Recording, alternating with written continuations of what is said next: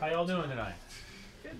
Awesome. My name is Derek Badala. I'm with RME. We are a manufacturer of audio interfaces. We're a manufacturer of A to D, D to A converters, digitally controlled mic preamps.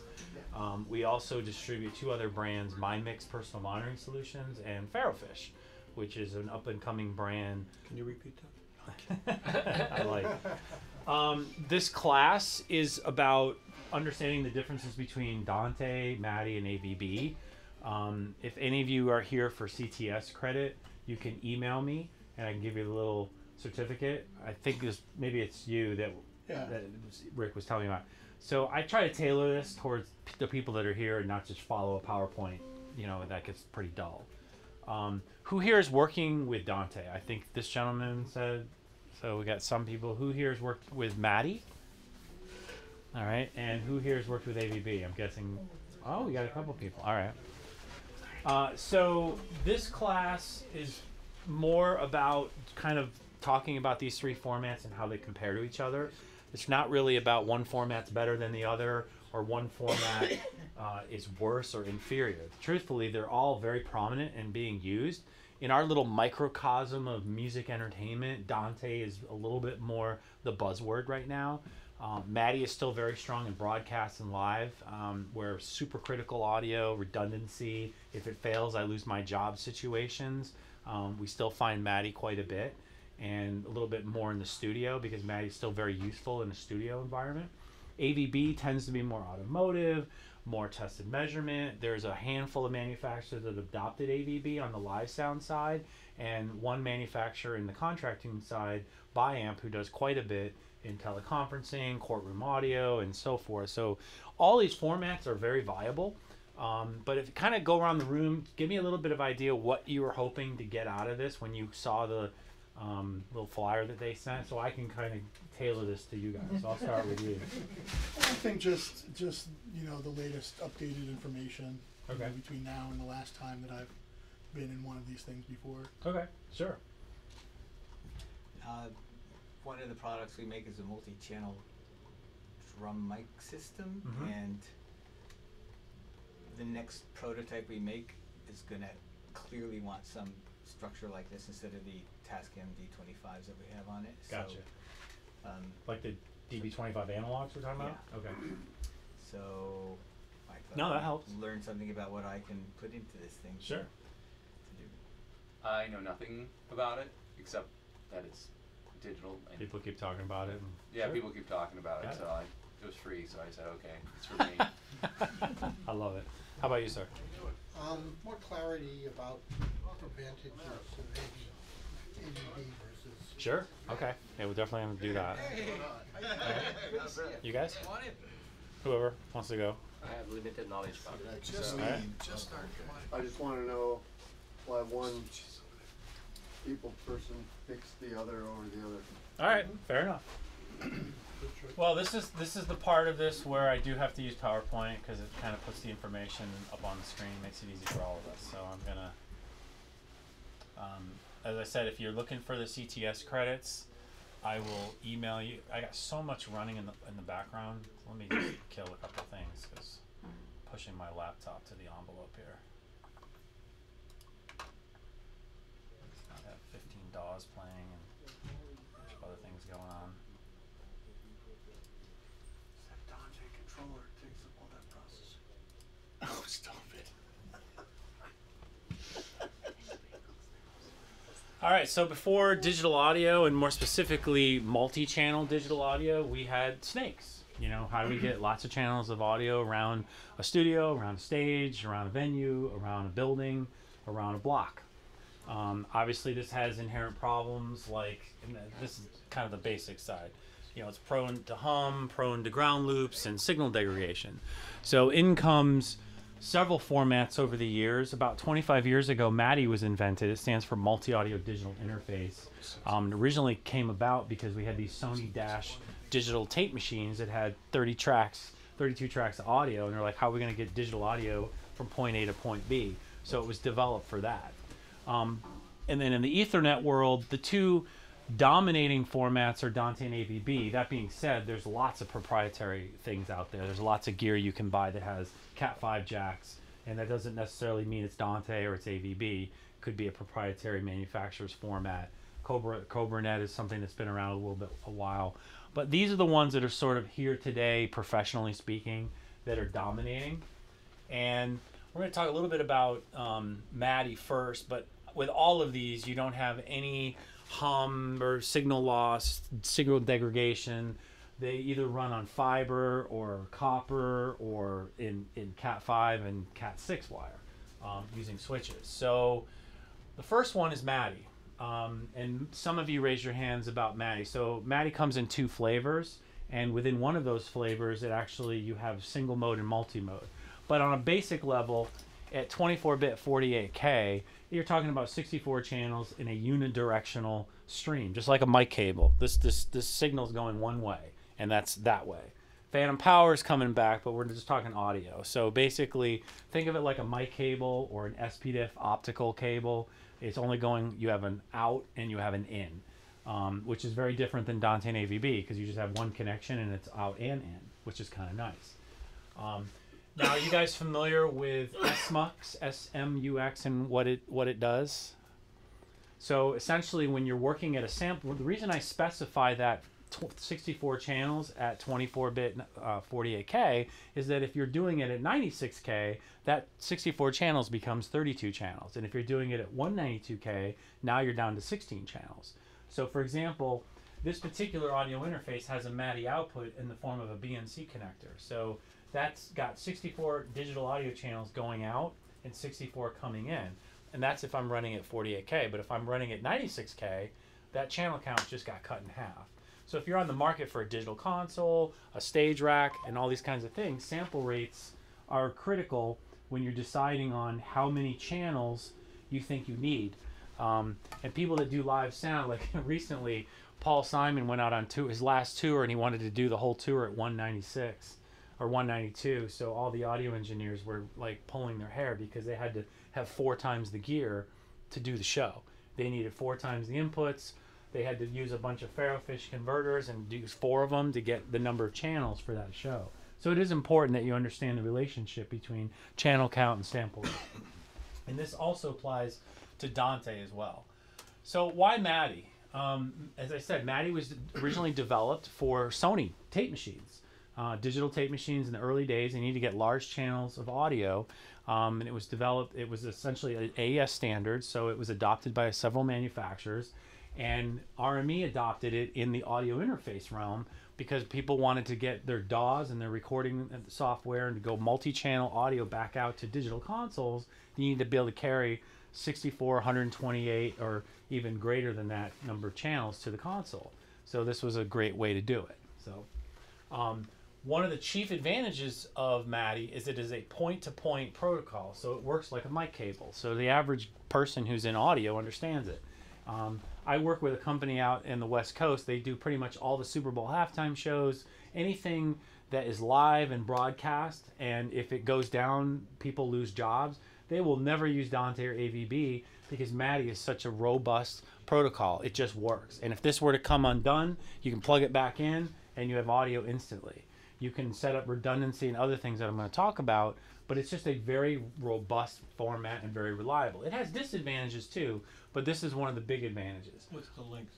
Um, I'm going to get that on the next slide so everyone can see, but you can go up to 10,000 meters um, if it's uh, single mode, or up to you know 100 to 1,000 meter if it's if it's multi mode. So very low latency. So that's the other thing. Is be able to get audio on and off a system, especially with a computer involved. You need to be able to do it with recording and playback at a very, very low latency. So if we're doing a recording session and I'm playing back tracks from the computer and you're listening to those tracks and then adding audio to it and we're monitoring the DAW, we need to be able to do it with very little latency. So that's another chief advantage.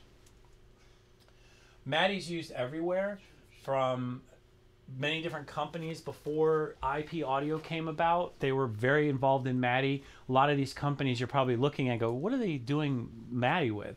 Uh, test and measurement, audio distribution, things of that nature, and a lot of that's evolved into Dante or AVB right now. But things like the Olympics, Super Bowl halftime show, lots of major stadium tours, um, Broadway, uh, all of uh, Cirque, most of the Cirque shows are MADI. Um, and it's because it's very robust and it's used to this day. Very professional, very reliable, and a lot of MADI equipment has built-in redundancy. And with redundancy, you can have two mirroring outputs, and if something were to switch, it happens with a zero sample latency, which is like the audience would never know that it was happening. So, for example, in the Super Bowl halftime show, it's probably no surprise that it's you know air guitaring and karaoke lip syncing in a lot of ways. Yes, there's live performances going on, but they're mixing that with playback tracks. So they need the ability that if that playback rig goes down, that another one is synchronized to it, and if something were to be switched immediately, the audience would never know the difference. And they can do that with MADI quite succinctly. So, two types of cables: optical and coax. Um, example of an optical cable is in this previous slide. Uh, where was it here? Looks like that. This answers your question. Um, 10,000 meters, 2,000 meters. There's two types of MADI when it comes to optical, and this becomes a matter of distance. Is like if it's ESPN and they're rolling in their trucks outside Yankee Stadium or Fenway Park, they got to run a lot of cable. So a lot of times they go with uh, single mode. If you're calling a guy like Rick and say, "Hey, I need a MADI interface," if you don't specify, chances are it's multi-mode. So if it's not specified, generally speaking, it is multi-mode. It's not like you can look on the back of the gear and it says multi-mode. It just says MADI, but it's something you do need to be aware of if you use this format. Um, but yeah, so single mode, you have a higher intensity beam going down the cable, and you see two cables like this because it's like in and out. You have MADI in and MADI out, and there's a nice convenient. This is a duplex cable. Um, you can buy them as a single cable as well, but it allows you to just take that one apparatus and plug it right in, and it lines up with the in and the out, and then the same thing on the other end, um, which is exactly what we're doing in this playback rig. So I'm using an audio interface with Dante. So this is a Dante audio interface. We're going to talk about that in a minute. And I'm going into the Ferrofish, which is uh, 64 channels of MADI, 64 channels of Dante, 32 channels of analog in and out, 32 channels of ADAT. So it's pretty much got everything but AES/EBU. And I'm going MADI out of this into this the, the rest of this rig. So, and I'm using um, fiber optic MADI cable. One of the things I find when I teach this class that a lot of people don't realize is you can daisy chain MADI equipment with a single cable. So you literally, in this picture, you see an eight channel um, RME mic preamp, and you're going, you could be using a very small audio interface with a fiber MADI connection and go out of your computer into one, out of it into the other, and so on. And on the front panel, you just tell the MADI stream where you are on the pecking order, and all of the alignment is done as part of the spec. And then it goes back to the computer, and then you can control these mic pre's remotely. So this could be in the performance space. So if this were a college venue, this could be up on the stage, and I could run a single fiber line back to wherever my computer or control room is. So it's something that um, most professionals who use MADI are familiar with, but a lot of amateurs or semi-professionals aren't familiar with this feature. Um, and actually, is a very useful way to do it. It's very plug and play. I mean, you can. There's a very long MADI cable in that picture. Um, this was with our Micstasy, so it's a uh, really nice orchestral mic pre, and then they just literally pop it right in, and its audio is there instantly, provided the clock is set correctly. One thing about MADI that, depending on how you look at it, is either a positive or a negative. Is there's no centralized configuration. It's just like you got a piece of gear, you plug it into this piece of gear, and on and on it goes. And you're doing everything directly on the hardware. There is a technology that some of you may have heard of. It's called MIDI over MADI. Um, don't let the word MIDI scare you. We think you know the old DIN connectors and it's slow and sluggish, but it's used for control and feedback uh, purposes. So we can actually get hardware information uh, remotely over that MADI cable to know like we could do metering, we could do mic pre-control and all kinds of other things, headroom gain control stuff like that. So it's something just to be aware of. And you also have with um, certain hardware what's called MADI redundancy.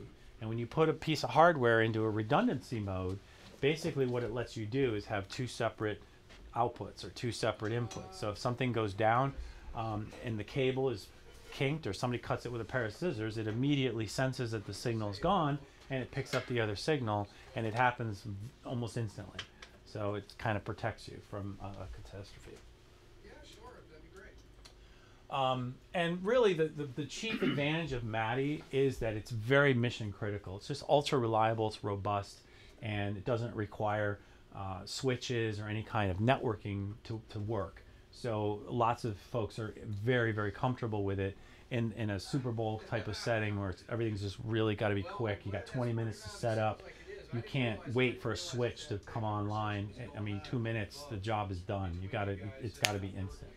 So these are some of the things that MADI uh, and why it still get used today. I'm going to talk about AVB next, but before I switch gears, is there any, you know, I'm trying to be sensitive on time. Is there any questions about that, that what I just went over? All right, nobody's asleep yet, Well, so that's actually, good. Yeah.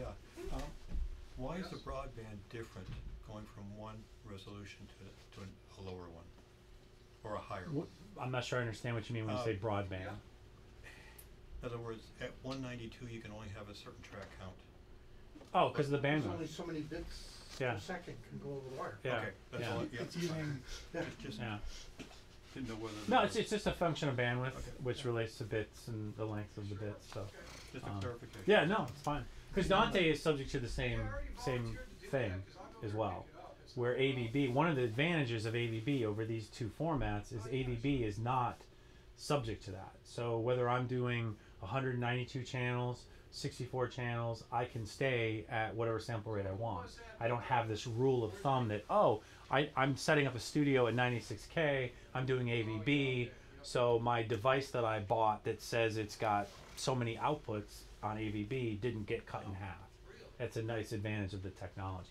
The downside is what you'll learn is that not as many manufacturers have adopted AVB. Where on Dante you just you have 350 partners. So chances are whether you need a microphone, a speaker, a wall plate, a mixer, a stage box, there's probably a Dante capable product in that world where AVB are a little more limited. Um, so we're, you know, the AVB was endorsed by the Audio Engineering Society, and there's several specs within the A- AVB world I'm going to talk about. But this is more of an overview, so everybody kind of understands where they fit together. Stands for audio video bridging, which the name right alone, you should be thinking, okay, there's video in there. It's one of the nice advantages. Now, Dante, talking about staying up to date, Dante just, Audinate, who invented Dante, just released a video codec that you can add. So even this presentation becomes obsolete in this world very quickly. Um, but part of the AVB spec endorsed by the audio engineering uh, standards is that you have audio and video in that Cat5 cable, not just audio. Um, so applications like courtroom or anywhere where you got cameras and video, you now you're only doing one cable for everything. Where if you're using Dante, you still have a separate um, video line of whether it's SDI or HDMI or whatever it happens to be. So, so what are the components of AVB? And it's just easier to put this here, especially for those of you that aren't as familiar with it. In, and when you're talking AVB, you're talking a single Cat5 cable, but you can have multiple and hundreds of channels on an AVB network. You have talkers and listeners, and it's important to understand that because, you know, normally we think of inputs and outputs. So think of it as an output as a talker and an input as a listener. Because in their software, that's what it's called. So it's just immediately you got to start kind of switching the, your mindset. You also have an AVB switch, which specifically is not just any switch. It's an Ethernet switch that complies with the IEEE 802 AVB standard. And the reason those standards exist is these switches guarantee bandwidth. It guarantees no matter what's going on the network that the audio gets the highest priority. So ESPN in Connecticut, for example, they have an entire building that's AVB. They wanted to use existing infrastructure. They didn't want to pay unions and pay folks to rewire a building because that costs gazillions of dollars. So they wanted to be able to have a network with existing traffic and put audio video on that same network and not worry about the two conflicting. That's an advantage that the AVB world will give you. But it comes at a price because those switches are generally more expensive, which is why Dante tends to be a little bit more accommodating for folks who are on a budget. AVB stream is a data stream associated with the stream reservation that complies with the stream reservation protocol. Well, that sounded like a bunch of gibberish, so let me just explain what that means. So in that cable, you can have, you know, depending on the hardware, hundreds of channels, where Dante is fixed at 64 uh, per chip. So you can define in that cable how many streams you want And within those streams, you can say, I want stream one to have four channels and stream two to have 16 channels because I want stream one to be my outputs to my loudspeakers and stream two is all my DAW stuff. So it gives you sort of a categorization advantage. And you actually go in the hardware and define in the network what what you're doing. You know, how I can do four streams, two streams, and there's so many channels. And there are advantages to that, but it does get complicated. Um, so this whole stream reservation is all about looking at the network and knowing how many streams have been reserved. But these are the four main components. So I think the next slide will kind of clarify. So here's a real basic setup. You have an analog microphone into some kind of DSP product via analog. All right, so we're going like from here to there. And then once we're in the DSP, where everything else is AVB, it's all interconnected with Cat5 cable with an AVB switch. And so that first device is, is a talker, and it's talking. The switch is just a bridge, and the listener is the I/O feeding your speakers, and it's going back to analog. Now, there are some manufacturers that have AVB speakers. There's many, if this were a Dante example, which would be almost identical to this, except it would be a Dante protocol. They call them receivers and listeners. So it's just different depending on what your what format we're talking about. But that's just a, a very basic example. And you typically find AVB more in a live sound setup. Mixer, stage rack, power amp, DSP, all of that. And at some point you're back to analog, either going in or coming out. Does that make sense, everyone? Now we'll get to the nuts and bolts, which you'll find kind of interesting. Um, so it's based on the AVB standard, and it enables the transmission of hundreds of channels. You can do literally hundreds of channels on an AVB network. Um, but most implementations, and and the reason I put it in parentheses, in our world, it tends to be hardware. I don't want people to walk out of here and go, "Oh, AVB is 500 channels," because it all depends on what product you're buying and the way the manufacturers implemented the AVB protocol, and they don't they only give you so many channels. If it's a mixer, it might only be 128 channels of AVB, and that's typically what you'll find. Is that like for example, this middle box is a AVB MADI analog converter, and it does 120 channels of AVB, 64 channels of MADI, and 32 channels of analog, and it'll make anything talk to anything. And when used in conjunction with our Dante box, we can actually convert AVB and Dante um, and have two networks talking to each other. So that's kind of a rare scenario. How you doing? I'm good. Sorry. No, it's fine. It's fine. So this goes to the sample rate question. So you can do sample rates up to 192, but one of the nice advantages is it, it's completely independent um, of this whole SMUX concept with MADI and Dante. So I can have multiple sample rates on the network. Granted, I can't, I won't have necessarily two products talking to each other because if this product's at 48k and this product's at 96k, obviously that ain't gonna happen. But on the network itself, I could be running audio um, at one sample rate and audio at another sample rate, and it's all managed in the switch, and it'd be fine. With Dante, I got to set the sample rate, and the whole network's one sample rate, and that's it. So that's a huge difference. Um, this is more from the manufacturing side, and I would just say, as a consumer or a professional consumer, you will find this reflected in the cost when you buy stuff. Um, with AVB, manufacturers do not have to pay a licensing fee. We don't have to call up uh, a third-party company and say, "Hey, I want to put AVB in my mic pre," and I don't have to pay a licensing fee for that. Where with Dante, manufacturers do have to pay a licensing fee. So in certain scenarios, all things being equal, the AVB solution should be less money to the customer. It doesn't always play out that way for a variety of other reasons, but it's just something to be aware of. Um, another very interesting uh, aspect of AVB that is not present in Dante is the ability to control gear remotely. So Dante is just audio. There's nothing else going on there other than Dante controller and a discovery um, protocol. But basically, what this AVDECC allows you to do, and it's part of the standards, it allows manufacturers to write software that can control other hardware from other manufacturers. And obviously, each manufacturer is going to implement this differently. So it's not like I can sit here and say a one size fits all statement. It's going to vary on what we're talking about. But it is something to be aware of. Some of these brands that I've put up here, they use AVB, and there are control protocols that allow certain brands to talk to other brands and control and give you uh, hardware feedback, which can be very useful. A good example would be headroom. If I use a remote mic pre, I want to get headroom information and have headroom control from the console. That's one way that it could be accomplished. Um, RME uses one for their uh, product, which I can show you in a second, and it allows them to control other hardware too.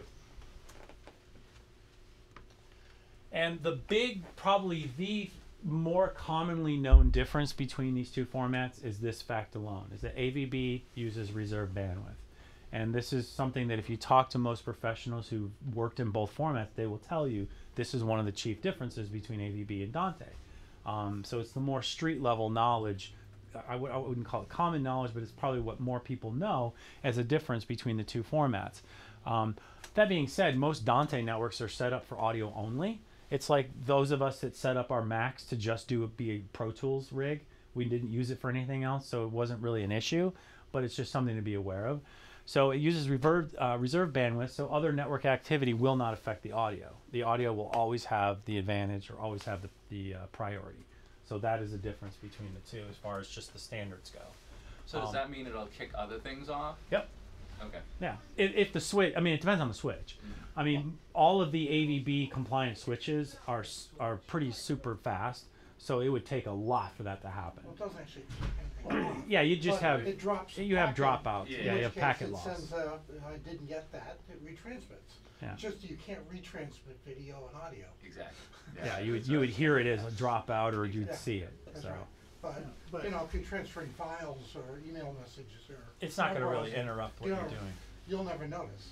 Yeah. But if you're if you're using if if you're using uh, AES sixty seven based, which is Dante is mm-hmm. AES sixty seven based on a layer three switch that's been managed with proper QoS and IMG mm-hmm. IGMP snooping, mm-hmm. then you can put it right on top of your VoIP phones and anything else, and Yeah. you're never going to lose anything. That's right. So it, it's it's six of one, half dozen of another. It just depends on how how much IT Yep. you want to put into your system. Yeah, because when I go over the Dante part of this presentation, that's exactly what I talk about. It's you know you have two types of Dante people. People that want to don't want to be an IT expert. They just want to get a switch, connect it all, and just have it work. Mm-hmm. And then you have folks that, out of necessity, have to use switches that are involved in other things. You got to set up VLANs, have a quality of service, is what he was talking about with QoS, and, and be able to get in there. And then you can almost pretty much guarantee what this slide is telling you, which is essentially the latency across the network is fixed, everything is time aligned, and that was from the get go one of the big advantages and big parts of what AVB was about is everything, and that was where the debate was because you always have the the you know the class of people that want to get it affordable, get it easy, make it simple, and then you have the class of people that no, it's got to be perfect, there can't be anything wrong with it, and then we've had this yin and yang effect with this format, and it's taken forever to come to market. So anyway, these are some of the things you just should be known and understood about the AVB protocol, because you will find Avid and Meyer and other manufacturers that use AVB, and they yeah you can get a Dante card, but there are reasons they've chosen AVB because they feel it's more robust. I think the jury's out a little bit because I don't have too many Dante folks that come up and say, "Well, my network sucks, and I wish I went AVB." I don't hear that. Um, you know, so it's it's really. I think you said it best. Yeah, It's the six, thing six is I half can't dozen the other. you know, like I can't use AVB even if I wanted to because it's not robust enough. Um, It's a layer two protocol which I just can't put in my enterprise. That's just the way it works. Yeah. So these are all things that factor in. All right. So I think these. Let's, let's switch gears to Dante. Um, similarly to AVB, these are components. So who hasn't used Dante? Because I know a lot of you have. So I don't want to waste. Who has not used Dante? Yeah, oh, you guys haven't. Okay. Um, so when you're using Dante, one of the one of the things about this format that's loved that I like is that everything just the network just sees everything on itself, and you kind of know. And you have something called Dante Controller, which I'm going to switch gears to my gear in a second, and I'll kind of revisit some of these things. But these these are just things to understand. Again, we're not talking inputs and outputs. It speaks senders and receivers, kind of the same idea as AVB. The layer three switch um, is just an easier switch to get your hands on. You know, your your switch at home is probably oh we got pizza, so we'll take a break real quick because I'm starving. Um, but it's a your basic Ethernet switch like what you use at your home office, and then you can have switches like he was saying. You can get in there and you know really manage it and configure it. And you have a Dante stream, which is a single stream of audio. Just think of it as at 48k, it's 64 channels um, in both directions.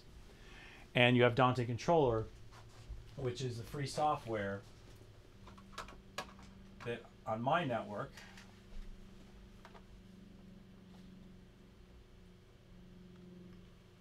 big believer in showing you what I'm talking about. So I have transmitters and I have receivers. Both products I'm using are both because they have inputs and outputs. So by definition, they're going to have both. So I'm using an A32 Dante and a Digiface interface. So I'm literally routing a one-to-one, you know, output one into input one and so forth.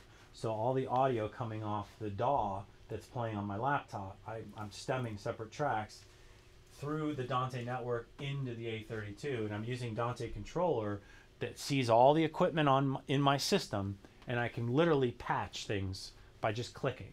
So I no longer am I using a patch bay, and I also can do multing in Dante controller, which means I can take a, a source and send it to several destinations, which is really nice. And you know, again, for those of you who haven't used it before, you just you know you just use your cross. I want output eight to go into input three, and you just click you know, and that's going to obviously take it from here. Um, so that's that's how that works. And one of the nice things about Dante is so easy to use and configure and route. So if this were a mixer and a stage rack and a DAW, you can literally patch in seconds and save it and recall it, and it's very quick. So that's that's a huge advantage. Even in a home studio, that would be nice because I have a patch bay and I'm always jiggling Bantam patch cords because they're starting to get a little old. So this is this is a great solution. All right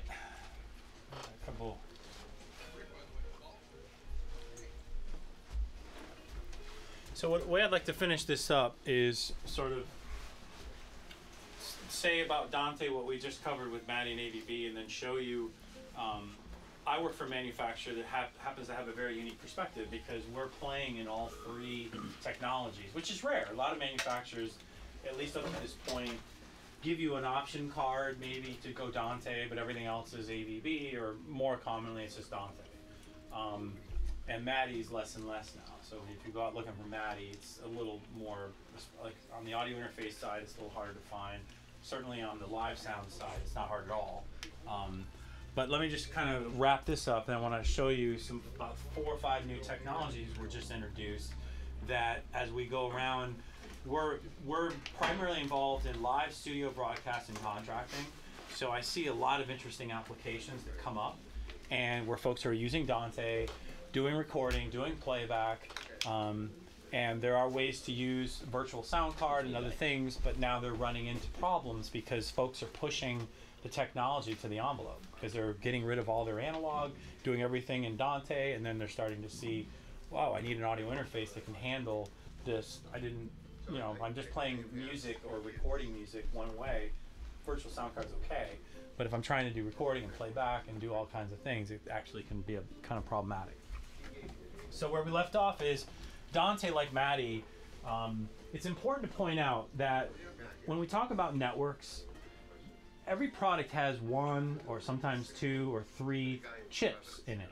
So, for example, this product here has four Ethernet ports on it. You might falsely assume, oh, I got four Dante ports, so I have 64 plus 64 plus 64 plus 64.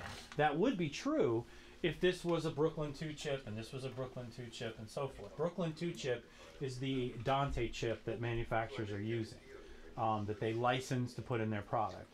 And it's the chips that are talking to each other. Um, the, and then after that, it's in the digital domain and the gear is doing what the gear is doing. So it's important that when you talk about Dante, this is per chip. So it enables the transmission of 64 channels bidirectionally at 24-bit 48K in one chip. Now, if I buy uh, a product that has two chips in it, that would be 128 channels and so forth. Just want to make sure that's clear. Which is why we put hardware dependent. Um, it's got very low latency, very tight play out sync, and it's pretty easy to configure and manage, as I'm going to show you. Um, because the thing about Dante is that you have the it, it sees and discovers all of the gear on the network, and it, all the gear says, "Hey, I'm this," I have this many outputs and this many inputs, and that's reflected in Dante Controller.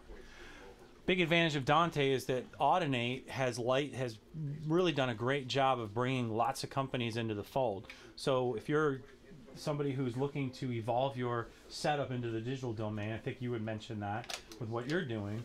Dante might be the way to go because you're going to have immediate um, connectivity and compatibility with lots of partners. Where AVB is going to be limited. You'd have to offer like a Dante card option, like Biamp does. Um, so this is something for you to consider, and this would be a big reason why.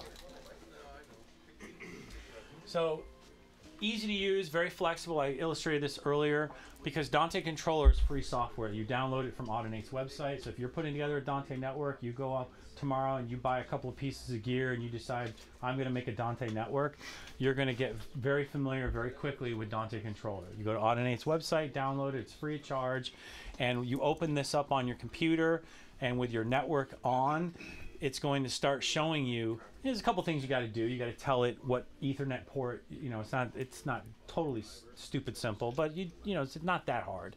Um, and you will it'll discover all your transmitters and receivers and you can do start doing your routing. It's also where you can get your clock status the sample rate of the network and all of that. So it's where all of that can be done. So that's really easy to use and easy to get around AES67 is a compatible format, so sometimes you'll be on the market for some gear. You might see that it's AES67, not specifically Dante. Dante and AES67 devices can talk to each other, so this is something to be aware of. Um, nice thing about AES67, AES70, and some of these other protocols is they actually have control in the protocol, like AVB does, which is why um, broadcasters like it. So it is something like Genelec. They make powered speakers that are AES67 compatible, so they can talk to each other. So in the end, all three formats have their strengths and weaknesses. Here's just a, I mean, I could make this really granular if I wanted to, but I kind of wanted to keep it basic. So 64 channels, unidirectional stream for MADI. Um, it is plug and play and it is point to point. AVB is 128 plus channels. 128 is the number I chose to stick on here because that's the common implementation. Again, both AVB and Dante can have literally hundreds of channels on their networks. It just depends on the gear and how many chips they have. Um, Dante is 64 channels on one stream at 48K.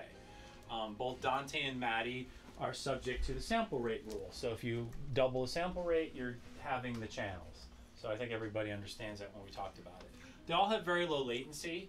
The only exception I would say is Dante. If you're using Dante Virtual Sound Card, that does have some pretty high latency. So if you're trying to do recording and playback or overdubbing, you're going to have a real problem with that. If you're just playing audio out on the network or capturing audio, it's going to be fine.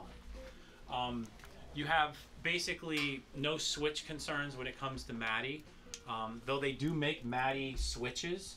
Um, routers is what they're often referred to. So you can connect multiple MADI streams into a box and route either the entire stream A to stream D, or take channel in blocks of eight, one through eight, and go to nine through sixteen in this stream or that. And so different routers do different things. Um, with AVB and Dante, you have a little bit of configuration and management involved. Um, I purposely left out the switch discussion, and we've all, some of us have been having that discussion in the other room. We could do a whole class on switches, and I didn't want to go there for this class because I wanted to keep it about the formats. But the reality is, the switches do become a big headache in either scenario. Some of you have already talked about it, and you become a switch expert overnight. like what switches to get, what brand, what things to look for, what things to avoid. Um, that's like a whole separate discussion. Um, but the reality is, both AVB and Dante have switches, and they do have to become fairly versed at understanding them quickly. Um, AVB, you do need an AVB compatible switch. You can go to uh, Milan or Avnu Alliance or look it up. Just Google AVB compatible switch. There's lists online of what they've been tested and approved. With Dante, you can be a little looser with that. Um, but again, if you've been doing Dante for a while, you find certain switches work better than others, and certain things you want to stay away from. Um, they're all Mac and Windows. Uses, you know, broadcast live in studio for MADI, AVB, uh, automotive, live, install, and it's a growing ecosystem. Um, Dante's really well established in live install and contracting. So when we say contracting, kind of like, you know, ceiling speakers, any audio, video in a building. You know, every building that gets built has audio and video in it now. If nothing else, just announcements, or emergency management. But so it's all part of that. And Dante uh, is definitely winning that battle over AVB. So probably the biggest brand in the AVB realm in that world is Biamp. Um, and in Dante, it's probably Q-SYS as it relates to DSP and audio distribution and management. So, all right, so let's get into the more fun part of this. So we've been talking about MADI and Dante and AVB, and you know, like it or not, analog isn't going anywhere because you know we have sources and destinations that are still analog, and there's a missing link. So we we, we you know, we're RME, so obviously we're going to put our brand in there, right? Um, so what do we do? Technology that RME and Ferrofish make that I think would be particularly interesting based on what all of you shared with me at the beginning is you can connect anything to anything.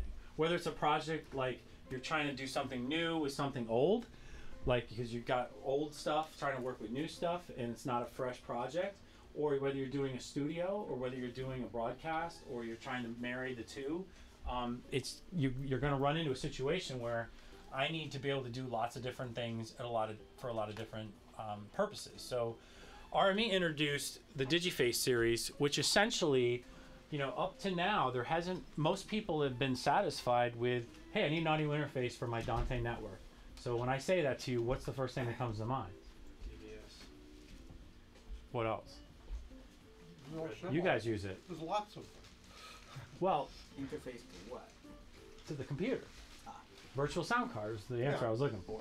Oh, okay. So I can go to Audinate's website and for thirty dollars buy a virtual sound card and basically turns my Cat five port on my computer into a sound card.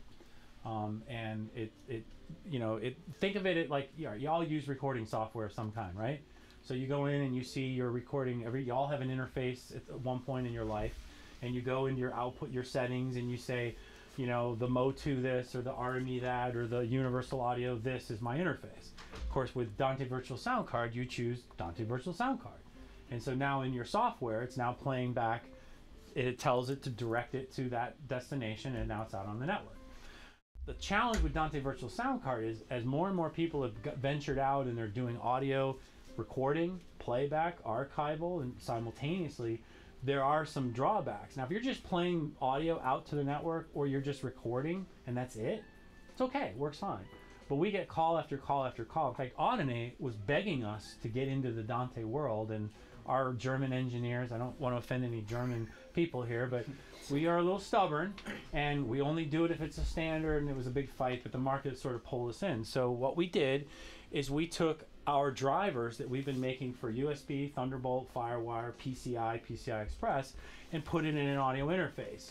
Why would we do that if you can buy Dante Virtual Sound Card for 30 bucks? Because we wanted to give people ultra low latency, 128 channels in and out at the same time without any hiccups, dropouts, or problems. Does everybody need that? No, not absolutely not. But it's it's coming up, and it's not a very expensive interface. It, it, maps for 14. If you go online, it's like 14.99. It's not you know as far as pro audio gear goes, that's not a very expensive box. So what is this product? So it has four ports on it. It's USB 3. We chose USB 3 because, like Thunderbolt, it's a very wide bandwidth. We can do literally hundreds and hundreds of channels on a USB 3 bus. It's almost as fast as being on the motherboard itself. Um, and unlike Thunderbolt, which is a little bit under the slavery of the Mac OS, we chose USB 3 because we could write our driver and we're not a slave to core audio 100% like we are in Thunderbolt. Um, we have four Dante ports. To be clear, it's one chip. It is a four port switch. So if you have a very simple network, like a Focusrite RedNet mic pre, uh, maybe an A32 Dante and a computer and a mixer, I literally can connect everything there and I don't need a switch. I can just plug it right into these four ports and this becomes my switch. Um, it has word clock I/O, which can also be configured to be MADI. So the product will actually do MADI and Dante at the same time, um, which I'm going to talk about. It has an analog output that is high enough resolution to go right into some powered speakers, or it can be headphone level. So because of real estate, we didn't do a separate one. And we've been doing that on PCI cards for years, and folks are fine with it. I'm a little more anal retentive. I'd rather have left and right personally. But and then we have TotalMix FX, which is our virtual mixer, which in the Dante realm is going to be extremely powerful. So the reason these ports are here is redundancy.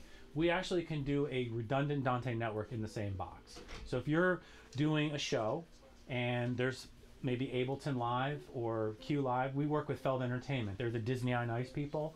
So they go around all these stadiums. They probably did it here at what, what used to be Boston Garden or whatever it's called now. I forget what the name of it is.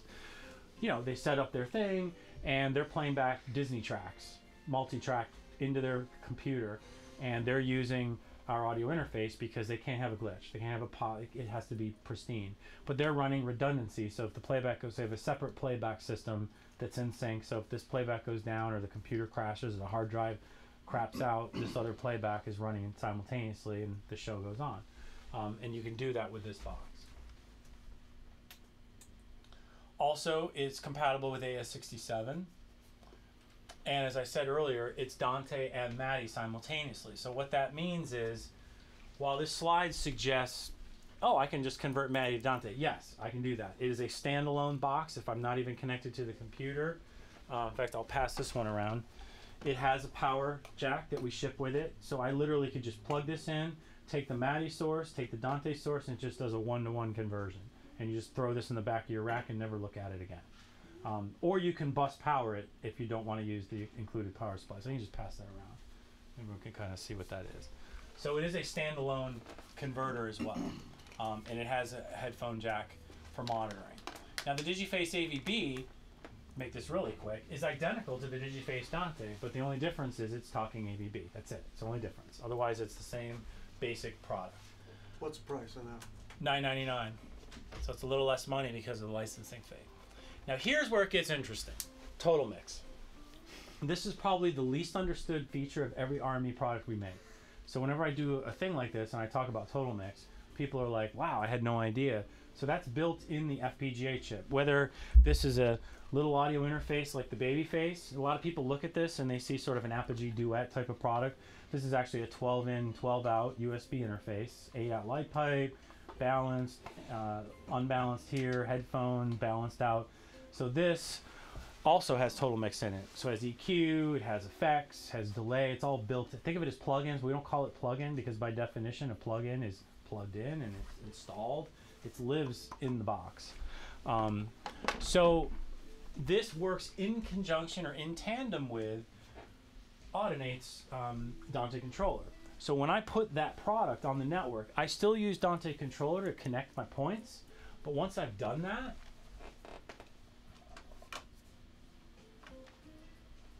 So let me show you what it looks like live. So I'm going to pull up Reaper. So right now I'm playing core audio in the background, just you know, uh, iTunes. It's a multi-client interface, so I could be running GoToMeeting, Skype, three DAWs for different things, and it all go through this no problem. And that's one of the advantages of our driver. Um, so I don't have to have three separate computers to do three separate tasks because our driver is built to actually do this all in one product.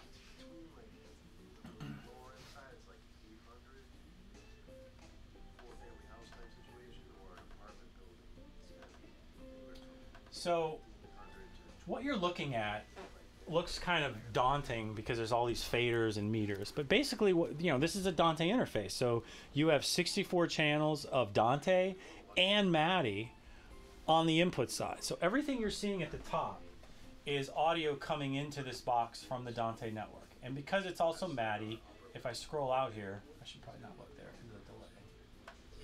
I also have MADI inputs. MADI 1, 2, 3, 4, 5, 6, all the way out to 64. So you literally have 128 inputs. And you can, if you want to, split them up. They're stereo paired, but I can make them mono if I want to. So in case anyone's wondering. So that's the top row. That's all that is, is input. So if this were connected to Dante controller and audio was routed to it, you would just see meters. So right away, it's like having Dante controller with metering, which makes it very helpful. Yes. Any thoughts on embedding controller? Yep. There's there is some control in this. Um, OSC, Mackie HUI, some of those protocols. No, no, I mean, I mean embedding Dante controller within within your mixer. So Oh, um, no, because then we got to incorporate more stuff, and and this Okay. mixer is in here, okay, and I have a certain amount Right, of right, sure. space on that chip. dig it. Um, So the middle row is all of your software playback. So the way RME sets up this mixer, and once I explain this to everybody, like, oh my god, that's so cool. Because when you look at it first, you're like, this sucks. I don't know what I'm looking at. So basically, the middle row is all the software. Now, right now, I'm running Reaper, and I'm stemming a bunch of tracks into this mixer, and I have iTunes on Dante one and two, and that's what confuses everybody is the virtual mixer or the virtual uh, middle row i wish they didn't give it the same name as the inputs and the outputs because that's what confuses everybody is because it says dante 1 and 2 3 and 4 and then it says it again and then it says it again. Because what you have is inputs playback outputs. So what you do essentially is my main out is dante 1 and 2 and i'm feeding itunes right and i'm using an external controller so i can bring up the volume literally i can bring up when I click on an output, I bring up what I want to hear. So these are some tracks of the Doobie Brothers.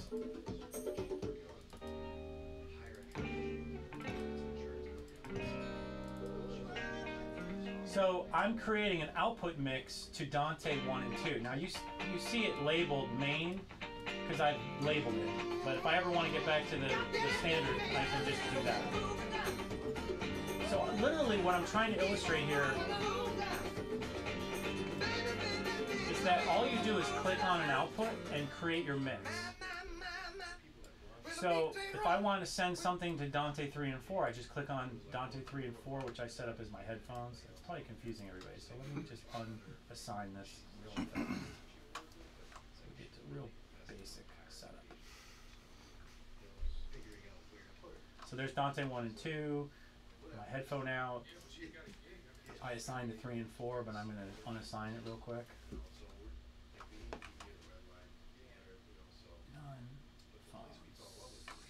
Okay. And what that'll do is it'll put it back where it belongs. So I have Dante 1 and 2, 3 and 4, 5 and 6 all the way out. So all I do is I select an output and bring up whatever faders I want to hear. So if I want to hear what's coming in on input 1 and 2, 3 and 4, but I also want to hear this and this, that is a mix to that output. I have a completely different mix to that output, and a completely different mix, and so forth and so on. So the simplest way to express this verbally is think of it as Dante controller with faders and a meter bridge. Think of it as a patch bay with faders. So you have the ability not just to click and patch this to that, but now you can create stems and submixes and control volume, which could be very advantageous even if I deploy this on the network to do nothing but that, it's pretty powerful. Um, but when it becomes part of a complicated network of audio signals going everywhere, it can get confusing really quickly. So what we allow the user to do, and this is true of everything we make, is we have workspaces and layouts and scenes. We also have an external controller. So if I want to do this here, or we have something called TotalMix Remote that allows me to download a free app and control it on a tablet. I literally can change my workspace to make it as simple as I need it to be. So if my network is very basic, I'm trying to find the one I, I did, there we go. So let's say I'm just using 24 channels of Dante in, 24 channels of Dante out. I don't care about software playback because I ain't playing any. So I deleted that row completely. I can customize this very quickly, very simply. And if this is all I ever do, this is all I'll ever see, and I'll never be confused again. I still have my metering here, so I can use this as a remote metering. So if you're a multi-event facility, you can have people with this talking to the remote to the host computer, but I don't have to be tethered to my computer. I can just do it over Wi-Fi. All of the processing and signal, it's all happening here. This is just feedback and control. That's all we're doing here, just so, So with your um, hardware remote, um, you could set up quote scenes. Absolutely. Um, and so- settings, so which are different. So you know you've got a, a performance space that one night needs things routed a certain way, and another you don't want to have to have an IT guy come in Right. and reconfigure the network. Plus, you tell can do it remotely. The green button. You can do it over the internet. You could literally, if I'll use your facility as an Yeah, example I do it because you were time. just complaining about I do, it. I do it all the time. Yeah, so you literally could he could have preset setups for certain things and get the student 90% there and just with a click of a button and now they don't have to go in and do all this configuration. I'm thinking, you know, you've got churches that, you know, they've got various, you know, uh, services they do, and sometimes they need side fills, sometimes they don't. Sometimes they only want certain inputs going to the mixer, and sometimes they don't. And they don't want to have to teach somebody a whole lot of this because it's usually a volunteer or something. Well- what you want to do is give them two or three buttons to push, Sure, and that's well- all they get. Yeah. Well, the the other thing is is um, if if you're putting this on if if, if you're ta- if, if you're tapping this into your your network, your actual network or your enterprise or however you're running this, then with VPN you can just VPN into your Dante network, and with uh, via through domain manager so that you can jump the subnets. You can you can literally hear the Dante at your home Yeah. many seconds after it actually happened. Yeah, it'd be, it'd be a latency, but you could monitor. Yeah, he's exactly But right. but you can literally do that now. Yeah, and that was the other the other reasoning behind putting a headphone out here because if this you wanted to monitor, you can set up monitoring scenes just to you know do confidence monitoring applications or have all the wireless mics summed to a stereo bus. Oh, test one two, test one two, test one two. I mean, that's somebody's job at the Grammys is just do that all night. So. Um, so now that we're talking about this, and I can see the creativity is flowing a little, let me show you a couple of diagrams because I think this better illustrates ways in which this can be used. Now, this would be a basic home studio, simple mixer with a you know using the mixer as a front end type of approach, but it's got a Dante card, and I can run a Cat five cable right to the interface and do recording. And the key is, you might be thinking, well, I could do that with virtual sound card. Well, not really. You can't use virtual sound card to play back a track you've recorded and then overdub and not have massive latency problems. With this box, you could because the input is directly sent to the output and you have what's called zero latency monitoring. That was one of the chief reasons that virtual mixer I showed you a minute ago was invented. And many of our products, unfortunately not the Digiface Dante, have compression, EQ, and effects built into that mixer that all lives here. And of course you can imagine everybody's clamoring for compression.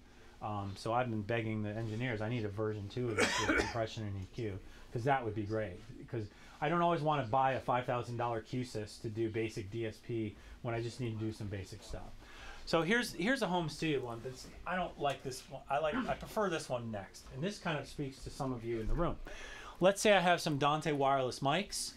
Um, pick a brand. I'll use Shure maybe, uh, and I want to connect that to my switch.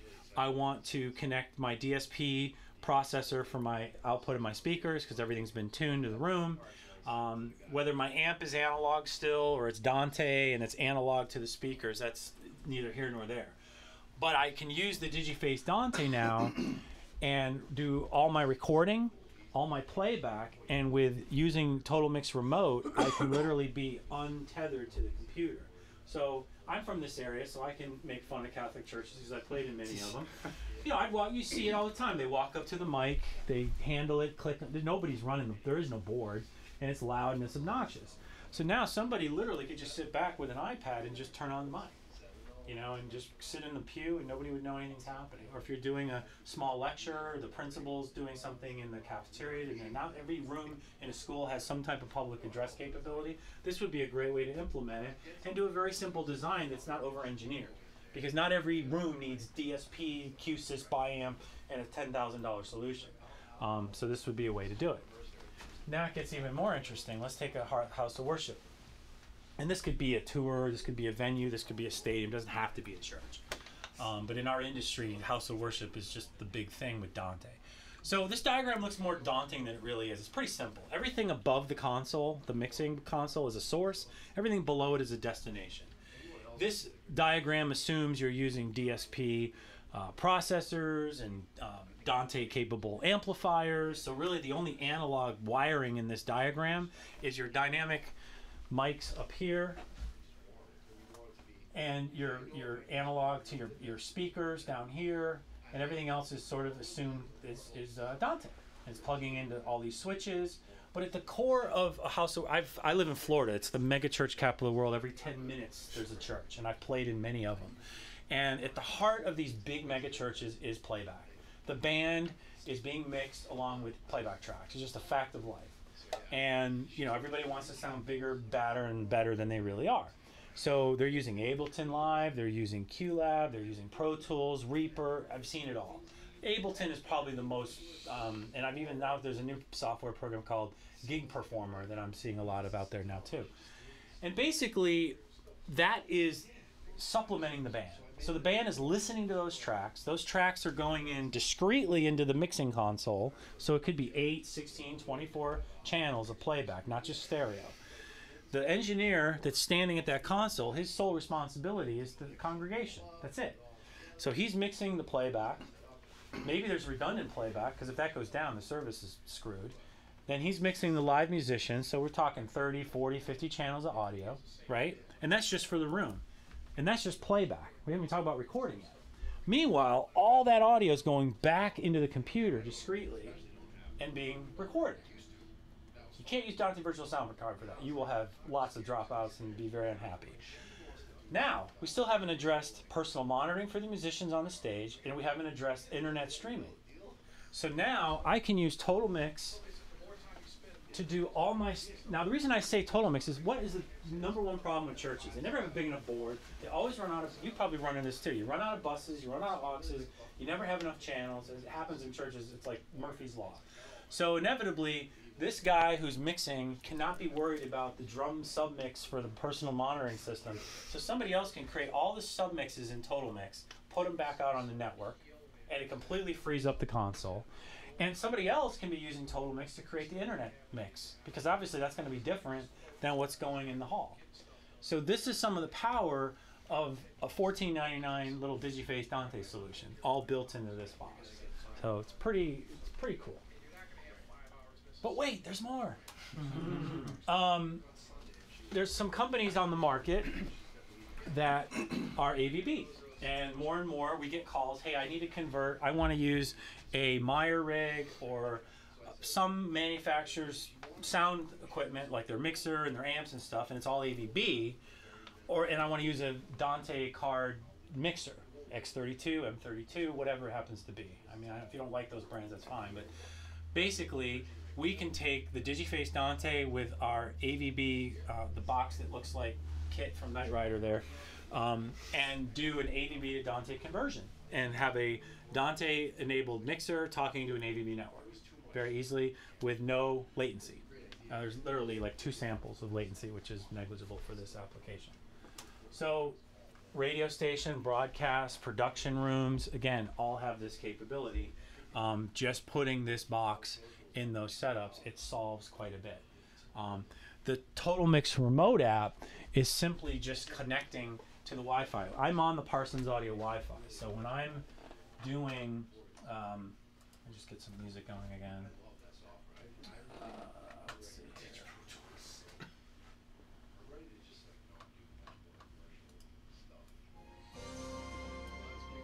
So, you know, I have the it's an iPad, so I'm limited, right? And there's bigger screen iPads out there, but you can zoom in on a playback channel, an input, an output, and you have very quick, as you can see on the screen, it's very quick. So there's not a lot of latency there. It gives me real-time metering.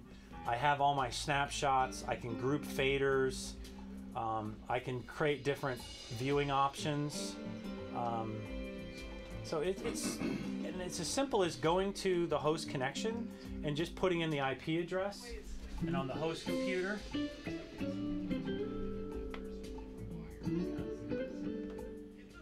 And on the host computer, we're basically going literally to network remote settings, and you get the I. I mean, you can, there's other ways to find out the IP address of the computer, but this is built into TotalMix to make it easy.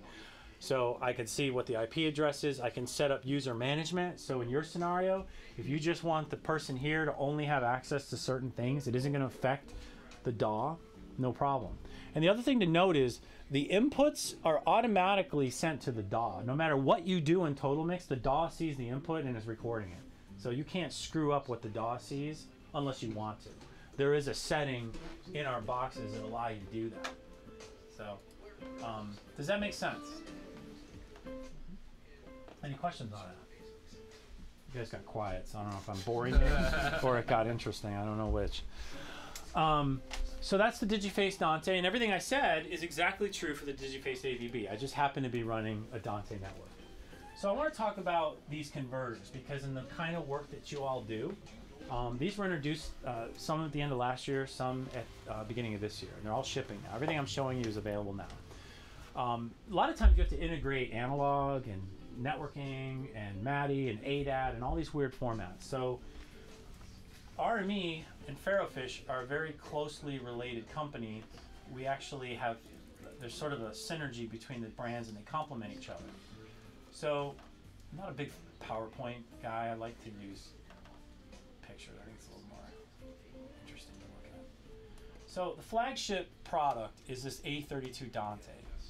Um, and this has been a very popular. We've been selling a lot, shipping a lot of these lately. Um, this gives you 32 channels of uh, one of your favorite connectors back there. D sub, Tascam, 32 analog in, 32 analog out. You also have SPDIF and ADAT light pipe because we can. Um, it's there if we want to use it, consumer stuff. MIDI for control, yep, there's still MIDI there. MADI in both BNC and fiber optic. And then all the way to the left, you have your primary and secondary Dante, so we can mirror the inputs and the outputs and have redundancy. And we've given you two power supply inputs, so you can have separate power supplies for redundancy. Uh, the last Super Bowl was done using this box, so this was part of the playback rig that was used for all the playback tracks, and they used the redundancy big time. This will do up to 192, and it has what what I really like about it is the front panel. Now I know all of you probably can't see what I'm doing, but I'm going to do my best. If you don't like reading manuals, you literally turn the knob and it tells you what to do. So that's pretty cool. And you literally can, with the headphone jack, you can select any input you want. Analog input, Dante input, pairs, sources. So for troubleshooting, Conference Minus really nice. You also can create a headphone mix. So if you wanted to sum, let's say you're running a bunch of Shure wireless ULXD Dante wireless mics, and you have 32 of them in your system, which would be an expensive system and you want to sum all of them to the headphones so that all you have to do is just put in a pair of headphones and make sure the mics are all, you know, hey, turn on the mic, testing one, two, kind of thing. Um, you can do that with that. But the real power is in the routing because it's a digital patch bay.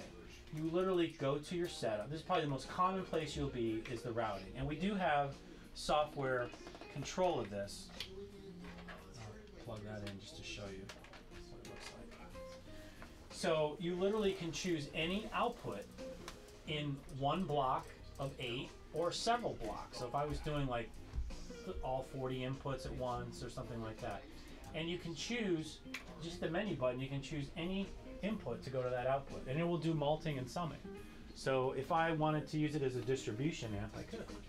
If I wanted to use it to distribute Dante to analog outputs to all my power amps, what a lot of companies do is they'll use a product like this to have redundancy to their power amps. So in case one of the networks goes down, they'll use the analog side. So if they're using Dante amps that also have analog inputs, they'll take the analog outputs here on their redundant Dante network and go analog in. Did you say that you can take there and put it on the screen, your computer screen? Yeah.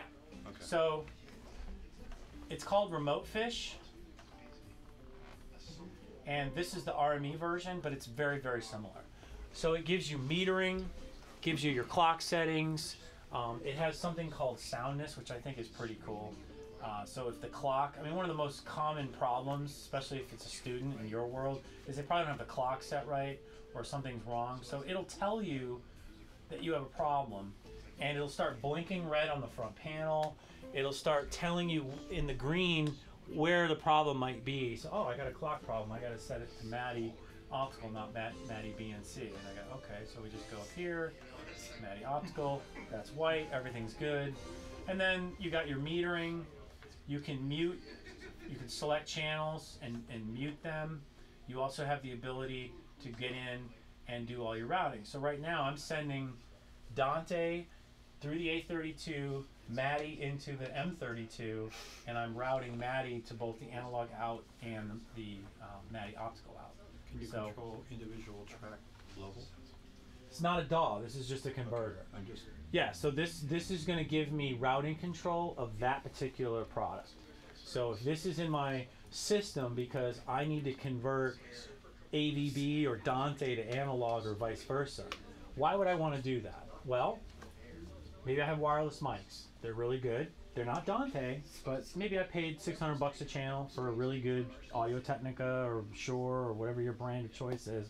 And I don't feel like reinvesting in at $2,000 a channel in a nice Shure ULXD system. So what if I want to put wireless mics on a Dante network without spending a fortune? I could take the existing wireless mics that I have, go into my A32 Dante or Pulse 16, I'm going to explain in a minute, and it puts it out on Dante immediately. But I then use this software to route it where I want it to be on the network. So that's all that's doing. So the other thing you have with the analog I/O is you have level control. You also have digital I/O, so I can see everything that's going on in the digital network, whether it's Dante, MADI, ADAT, SPDIF. I can reboot the network from here, which is pretty powerful. A lot of products can't do that. And I have the ability to control input gain and output gain Each channel? Individually or as a group. So the A32 Dante is our big flagship. Has think of it as the Swiss Army knife of ins and outs. Connect anything to anything. Dante analog A- ADAT MADI SPF. Probably the only thing not on there is AES/EBU. Now in studio and live applications, I'm going to show some diagrams which will drive this point home. We introduced the Pulse 16 a little bit more affordable. Not everybody needs 32 channels of analog. So here's a 16 channel of TRS balanced in and out with everything else that the A32 has 64 channels of Dante, 64 channels of MADI, blah, blah, blah. So what I'm doing is I'm going analog out into these powered speakers the same way that I illustrated before. So when we show the diagrams, it gets kind of interesting. So here's a good example. I'll, I'll take a live sound setup. Maybe I don't want to buy the Yamaha stage box. All my all my sources are either line level because they're coming out of wireless mics, there's DI boxes on the stage, or a keyboard rig. So I could take a Pulse 16, which is brand agnostic because it's just Dante, plug in all my line level sources, feed it into my console, and because it has outputs, I can feed my wireless IEMs with it and my power amps. Go one step further, add a Digiface Dante, and now I have all my computer recording and playback. For so for two products, I can do quite a bit of stuff here. Um, the Pulse 16 is 19.99 selling price, what you'd find it online for. Um, so you could package a Pulse 16 with a MADI interface, with an ADAT light pipe equipped interface like this, or a Digiface Dante, which gives you the full spectrum of I/O, and run your entire system this way. Um, recording, play. This could be a studio, because that Pulse 16 could live where the sources are, and the everything's just a, a Cat 5 cable back to. And this particular drawing, I wouldn't even need a switch because the four ports I have would accommodate this as I've got it shown here. This is a pretty basic system. Another, How much is the A thirty-two? the A32, great question. Thirty-four ninety-nine uh, is the is the purchase price. It's the Rick Scott price. Take a keyboard rig. Keyboards have a lot of, um, you know, we did the NAMM show. We had Ellis Hall at our booth. A lot of the key professional keyboard players have a lot, lot of line level sources coming out of their stuff, and it adds up quickly. So that's a lot of snakes and D sub cables and copper wire to run to a stage rack. I could literally have a Pulse 16 in my keyboard rack, run all my keyboards into it, and then all I got to give front of house is a Cat 5 cable, and I have everything done. I'm self-contained. It's just another way to use this product. And again, because I have the outputs, I can still feed my power amps from it. I can still use TotalMix to do all of my wireless IEM mixes. So I can do, or I'm the musician on stage and I can do my own wireless mix. Just give me a layout that only shows my sources that I need to see and I can't screw it up. Um, so it's all possible. So it's just another way to skin skin the cat. Um, any questions? Everybody's. I don't know if you. I lost you, or you're just tired, or it was you like, go back wow, that to was kind of cool. What are the inputs and outputs on that model? Uh, 16 in, 16 here. I'll show you the. It's easy to. s- Y'all like me you probably want to see the back panel. So the Pulse 16 and the A32 are the same technology. One is 16 channels of TRS in and out on the analog side, but everything else is the same. And on the A32 side, it's 32 in, 32 out on D sub. Um, and you have full spectrum of I/O uh, trim gain control and output level control. So if I wanted to go in here on the pulse and control the output level of the speakers we're hearing, of course the music stops, right? I can literally grab both of those faders and bring them up. Find another demo song. I'm a little tired of that one. Who doesn't like Earth, Wind, and Fire, right?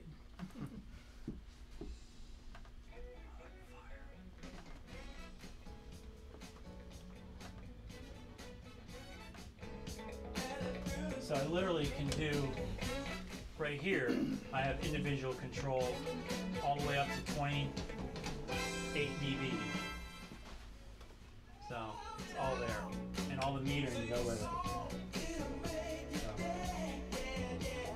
So those are nice little problem solvers when you're doing old equipment with new equipment, or you're trying to integrate um, an old analog mixer or whatever it is with the new technology. So it's a great way to do that. Um, the converters in these products are reference class level. These are not like cheap, inexpensive things. They're very well. This is what you hear on broadcast. That A32 Dante, not only was it on, used on the Super Bowl, but about 60 to 70 percent of every NBA and NHL game is using that because ESPN put all of those in their trucks because they roll into the venue. They don't know what they're going to have. So when you say it's used at the Super Bowl, it's, you're talking the actual game or the halftime show? The halftime show. Okay, Yeah, But- because the game is th- another story.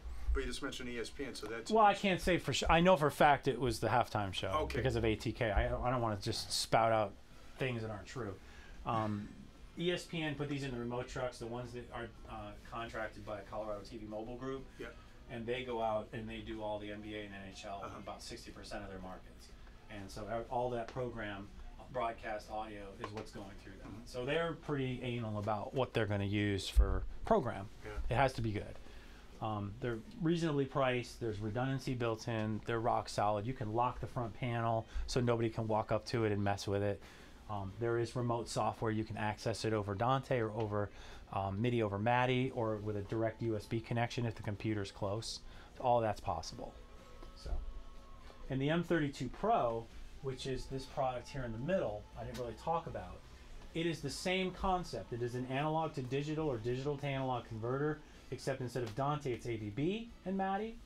You're probably wondering why the heck did they do these big um, thing? They wanted to be able to have that in a rack. You see the metering from far away, and instead of charging you three thousand dollars for a touchscreen that you'll never use when it's in a rack, we just went analog. You can there's a bunch of these come with it, and you can write what is what if you want. So it's kind of an interesting approach because the product. Um, we make a, a product called the ADI2 DAC, does 768 kilohertz SD recording and playback. That's like having 32 of those in one box, so it's very high end. Um, and yet the product is still pretty affordable at $39.99. So it does 128 channels of AVB, 64 channels of MADI, 32 channels of analog, um, in if it's the DA ver- uh, AD version or out. So that's why when I showed this diagram earlier, So it's one or the other. It's Yeah. 32 by 32. that's the one difference is that it's not like the A32 where it has it both. Um, there's a whole nother level of, of class of, of preamp. Uh, so when I had this, you know, people who are using uh, the Meyer, the Galileo Galaxy, which is a very common DSP with Meyer equipment, they want to be able to connect it to a Dante console, and this is how you would do it. You just use it's a one RU solution, um, and you have the analog outputs, which again give you flexibility because you could use those for redundant feeds to the power amp. You could use them for outputs to your IEMs. There's a lot of ways you can take advantage of those. Um, and again, you have the same kind of thing. We wouldn't even need a switch um, on the Dante side. The AVB side, you would. So that's it, guys. That's all I got, guys and hmm. gals. So I didn't put anyone to sleep. That's good. Everybody was like, I broke my record, so I stayed awake. yes. So the DigiFace Dante has four ports, and you said it can work as a as its own switch. Yes. But they're also labeled as primary and secondary. So is it is it a two port switch for a primary and a secondary, or is it a four port switch for a non-redundant network, or is it both? It's both. Okay. So, and let me let me let me clarify. So the driver itself is a 128 channel driver.